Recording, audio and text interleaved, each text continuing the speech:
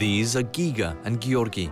They have a disability, but receive appropriate care in this daycare center in Gori. These brothers are among the lucky ones, because most of the children with disabilities in Georgia do not receive the care they need yet. There are many reasons why children with disabilities are excluded from appropriate services. Late identification and misdiagnosis is still a problem in Georgia, and the number of daycare centers like the one in Gori needs to grow. Professionals need regular training and support, and stigma must be addressed throughout the country. During Soviet times, it was seen as normal to send children with disabilities to institutions. So that's where most of them went. There are still more than 10 so-called boarding schools for children with special needs in Georgia.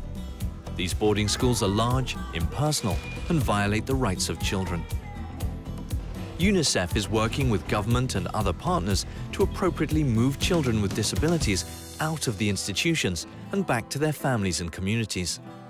Combined with assistance of daycare centers and local schools, these children can lead a life of dignity in their communities.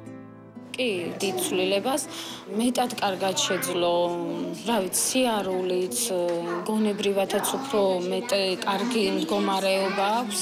რა ვიცი აი ყველაფრით ძალიან კარგი ანუ ფსიქოლოგის მუშაობა ძალიან ძვირფასია რაც სკოლაში რომ იმყავს ნერვიული აშლილობა აქვს და რაღაცა ესეთ ცუდი საქციელი რო არ გააკეთოს ცუდი სიტყვები არას თქვას რამე ესეთი. აქ ყველანაირი მომზადება ყველანაირი.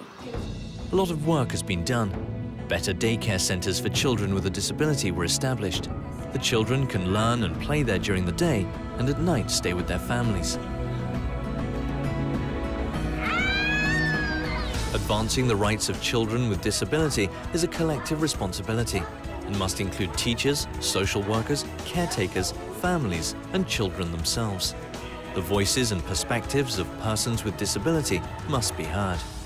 Ensuring appropriate government standards and policies around disability is critical.